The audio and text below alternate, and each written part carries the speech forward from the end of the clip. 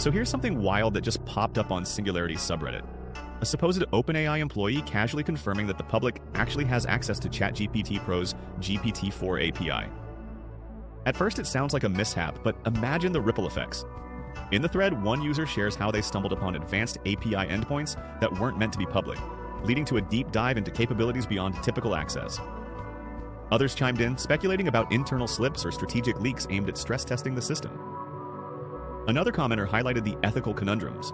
If the public experiments with these powerful tools unknown to the company, could sensitive data or unintended biases be amplified? There was debate about transparency and the pace of AI democratization. Are we ready for such technology to be so accessible? The discussion also veered into how this could accelerate innovation, but at what cost? A surprising takeaway was someone recounting a similar experience years ago with a beta platform. The accidental leaks became blazing trails for public feedback and rapid improvement.